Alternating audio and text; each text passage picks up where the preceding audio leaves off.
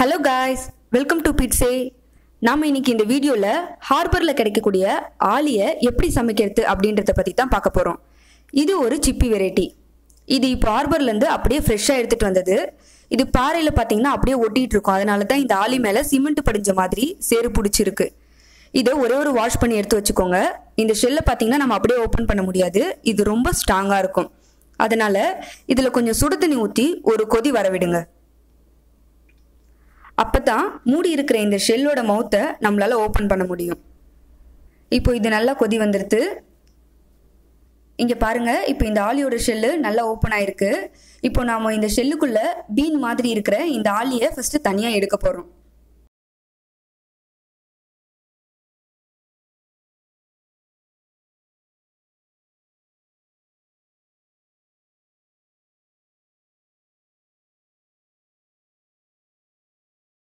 இதுதான் ஆலி இது ஃபர்ஸ்ட் ஒயிட் கலர்ல ஜெல்லி மாதிரி இருக்கும். சுட தண்ணி ஊற்றி கொதிக்க வச்சதுக்கு அப்புறம் பார்த்தீங்கன்னா இந்த மாதிரி ஆரஞ்சு கலரா மாறிடும்.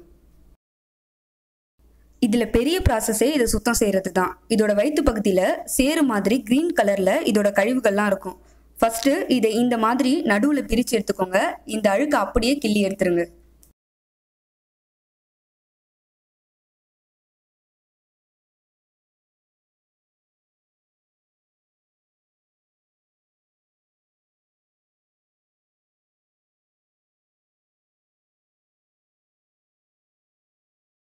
இப்போ இது இந்த மாதிரி இருக்கும்.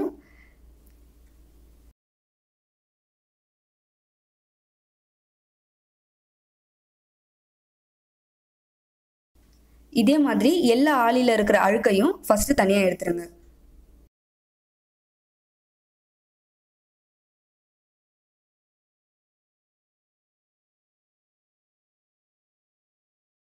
அதுக்கப்புறம் திரும்பவும் நம்ம இந்த மாதிரி இதில் ஒட்டி இருக்கிற மீதி அழுக்கு எல்லாத்தையும் இந்த மாதிரி தனித்தனியாக தண்ணியில் போட்டு அலசி எடுத்துக்கலாம்.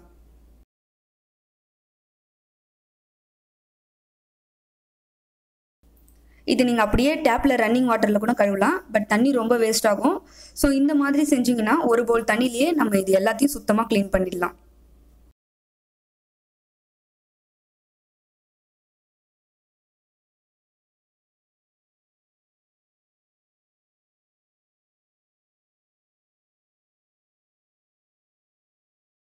இது நீங்கள் எந்த அளவுக்கு க்ளீன் பண்ணுறீங்களோ அவ்வளோ டேஸ்ட்டாக இருக்கும். இது ரொம்ப குளிர்ச்சியான பொருள். உடம்பு உஷ்ணம் உள்ளவங்களுக்குலாம் ரொம்ப நல்லது.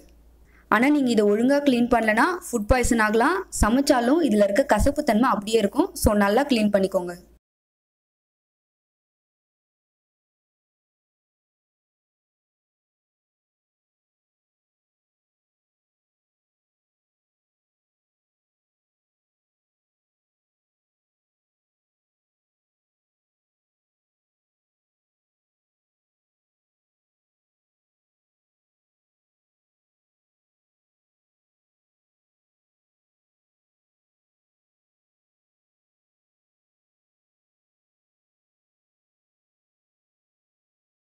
இப்போ இதை நம்ம நல்லா க்ளீன் பண்ணியாச்சு. இங்கே பாருங்கள் எவ்வளோ சுத்தமாக இருக்குது இது பார்க்குறதுக்கே ஒயிட் அண்ட் ஆரஞ்சு கலரில் ரொம்ப அழகாக அட்ராக்டிவாக இருக்குது ஆலியோட க்ளீனிங் ப்ராசஸ் முடிஞ்சிருச்சு. இப்போ நம்ம இதை சமைக்க ஆரம்பிச்சிடலாம்.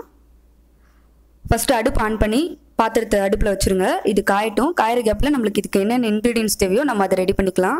இதோட சமைக்கிற ப்ராசஸ் பார்த்திங்கன்னா ரொம்பவே ஈஸி ஃபஸ்ட்டு ரெண்டு வெங்காயத்தை எடுத்து இந்த மாதிரி நல்லா பொடியாக நறுக்கி வச்சுக்கோங்க. ஒரு பத்து நிமிஷத்தில் வெந்துடும் இது வேவறதுக்கு ரொம்பலாம் டைம் எடுக்காது. பேன் காஞ்சிருச்சு. இதில் ஒரு ரெண்டு ஸ்பூன் எண்ணெய் ஊற்றிட்டு நம்ம பொடியாக நறுக்கி வச்ச வெங்காயத்தை இதில் போட்டு நல்லா வதக்கிக்கலாம். வெங்காயம் ரொம்ப கோல்டன் ப்ரௌன் கலரில் வதங்க தேவையில்ல. கொஞ்சம் டிரான்ஸ்லூசண்ட்டாக வதங்கினா போதுமானது. வெங்காயம் வதங்கட்டும். இதுக்கு தேவையான மற்ற பொருட்களை நம்ம ரெடி பண்ணிடலாம்.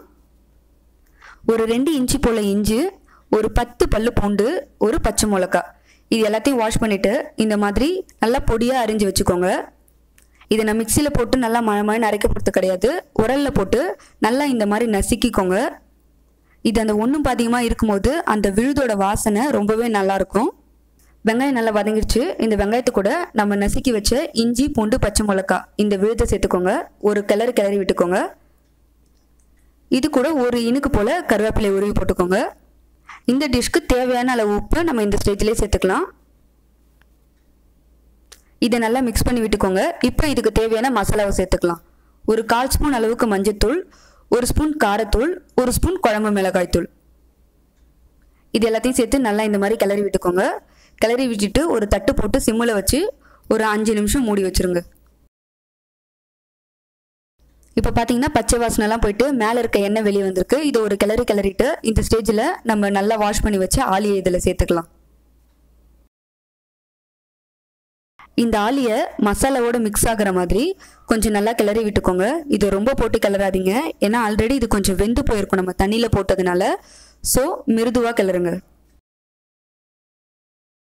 இப்போ இதை ஒரு தட்டு போட்டு ஒரு பத்து நிமிஷம் மூடி சிம்மிலே வச்சுருங்க. ஆலி நல்லா வெந்துருச்சு. இதை நல்லா கிளறி விட்டுக்கோங்க. இங்கே பாருங்கள் நல்லா ரோஸ்ட் ஆயிருக்கு. அவ்வளோதாங்க ரொம்ப ருசியான ஆலி ரெடி ஆயிடுச்சு. இந்த ஆலியை நீங்கள் சப்பாத்தி ரசம் சாதம் சாம்பார் சாதம் இந்த மாதிரி எது கூட வேணாலும் சாப்பிட்லாம். இந்த ஆளி பார்த்தீங்கன்னா சாப்பிட்றதுக்கு மீன் சாப்பிட்ற மாதிரி இருக்கும். அதுவும் எக்ஸாக்டாக பார்த்தீங்கன்னா கனவா மீன் சாப்பிட்ற மாதிரியே இருக்கும். இதோட டேஸ்ட் ரொம்பவே நல்லாயிருக்கும் இந்த ஆலி பார்த்தீங்கன்னா வழக்கமாக மீன் மார்க்கெட்டில் போய் நம்ம மீன் வாங்குற மாதிரிலாம் வாங்க முடியாது. இது கிடைக்கிறது ரொம்ப ரேர் இது அதிகமாக ஆர்பரில் தான் கிடைக்கும். ஸோ எப்பயாவது நீங்கள் எங்கேயாவது போகும்போது இந்த மாதிரி ஆர்பரில் யாராவது ஆலி விற்கிறதெல்லாம் பார்த்தீங்கன்னா கண்டிப்பாக வாங்கி செய்யுங்க. இது வந்து உடம்புக்கும் ரொம்ப சத்து டேஸ்ட்டும் ரொம்ப நல்லாயிருக்கும் சாப்பிட்டு பார்த்துட்டு எப்படி இருக்குதுன்னு சொல்றியா? இந்த ஆலியை பார்த்தீங்கன்னா ஹோட்டல்களில் கூட கிடைக்காது. ஒரு சில கையேந்தி பவுன்களில் மட்டும்தான் கிடைக்கும். அதுவும் இந்த அளவுக்கு சுத்தமாகவும் சுவையாகவும்லாம் இருக்காது. ஸோ உங்களுக்கு கிடைக்கும் போது இந்த ஆலியை வாங்கி செஞ்சு ட்ரை பண்ணி பாருங்கள் இதோட டேஸ்ட் எப்படி இருக்குது அப்படின்றத கமெண்டில் சொல்லுங்கள்